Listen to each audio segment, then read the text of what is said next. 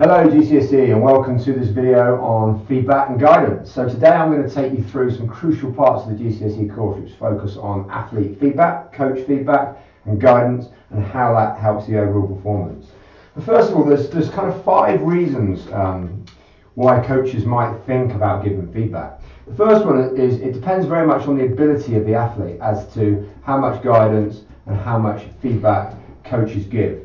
Um, a very, very able athlete at the top end of the pyramid will be able to receive more feedback and take it on board more than somebody perhaps at the bottom end. So they've got that ability to be able to understand the skill, the concepts, and take more on board than perhaps a novice athlete might do. The second thing is the personality of the athlete. The coach really needs to know their athlete quite well. And they need to know their personality. Are they somebody that will take offence if guidance and feedback is given? Are they somebody that would flourish and really enjoy and benefit from having that feedback? So it's all about knowing the personality type of the athlete, which is really crucial. The other thing as well is that, we've spoken in a previous video about skill levels and the harder the skill, the more feedback and the more guidance is required because they'll need that instant, instantaneous feedback loop about how to improve and how, how to get better at the skill that they're doing. And the last aspect is the facilities. Do the facilities allow for adequate feedback and guidance? You know, is there an area that they can actually perform in and evaluate their performance in? So these four aspects here are absolutely crucial when we're talking about feedback and guidance. So let's focus on guidance. Guidance, there's four variations of guidance, and it depends on the coach, depends on the situation, depends on the ability of the athlete, the personality, the skill, and the facilities as to which of these types of guidance you use.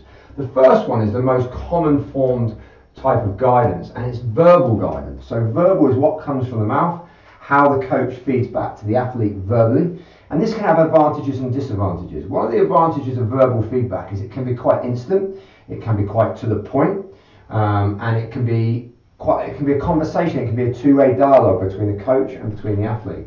A disadvantage of verbal is potentially it can be taken the wrong way there hasn't been a good thought process going into what's relayed to the athlete. So it could offend the athlete, the coach potentially, and they could get into a verbal conflict with the athlete, which is probably best avoided. So verbal feedback has its advantages and it has its disadvantages. The next type of feedback that we talk about, um, sorry, guidance we talk about, is visual guidance, and this one is really key. They say that a picture paints a thousand words, and by showing the athlete exactly what they're doing, you can break down that subroutine, and they can almost coach themselves to a certain extent. So let's take a situation where an athlete keeps performing um, a skill wrong, um, and in particular, it's a part of a subroutine that's wrong. Potentially, they could have it filmed by the coach. The coach doesn't necessarily need to say anything, and then they could play that video back to them, and they could say to the athlete, "Where do you think you're going wrong in this process?" The athlete can then see it for themselves rather than being t- uh, told it verbally, and they can say, okay, subroutine part three, that's the part that I got wrong, that's what I need to work on. So it tends to motivate them a little bit more. So the positive about visual feedback is they can see it, picture paints a thousand words, and they can fix the problems for themselves with the support and the guidance of the coach as well. Okay, so we've got verbal and visual feedback uh, sorry, guidance again, they tend to be our most important two. We've got two others as well. We've got manual guidance and we've got mechanical guidance, which are quite similar but slightly different.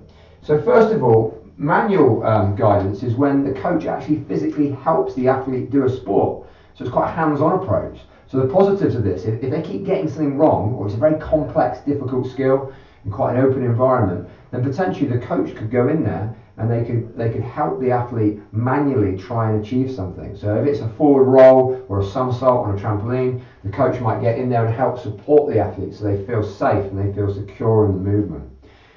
Sometimes there's a need to get mechanical um, guidance involved, and when we talk about mechanics, we tend to talk about machines, not human entities. Um, so it's not necessarily AI, but it is certainly a machine to help. So something that comes to mind is a tennis ball serving uh, machine that fires tennis balls consistently at the same pace. Um, the athlete, the tennis player, can get, then get used to that. Sometimes we use mechanical guidance in swimming pools for disabled swimmers to get them into the water safely and out of the water safely. And we can also use it in trampolining. Um, you see those harnesses that they have that are attached to the ceiling. And if they're trying a Barani or a complex one and a half twist, they might use mechanical guidance to take the danger element away. So both manual and mechanical are used for safety for quite high complex skills that have a danger element. So we've discussed guidance, which is this section here, which goes hand in hand with feedback. So we need to talk about feedback now. Now, feedback is essentially being given some information on how to improve your performance. And at elite level, this is crucial, particularly if you're going to go on to be a podium potential athlete, win medals. So feedback is a really, really important thing, and coaches need to use it, and athletes need to receive it. So it's a two-way process. You send information, but you also receive information. Feedback comes in four different varieties. So the first one is it's intrinsic. And you may have come across the word intrinsic before when talking about motivation. So intrinsic comes from within. It comes from within the human body. So I want to win because I want to be the best. That's an intrinsic, self-motivated form of feedback.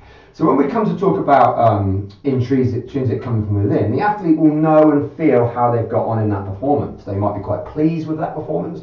They might be quite disappointed with that performance. But ultimately, they will know exactly how they feel and they'll know what they need to do to improve. So a coach doesn't need to do much with intrinsic feedback. They perhaps just need to listen and perhaps suggest some, uh, some things that they can do to improve in the future.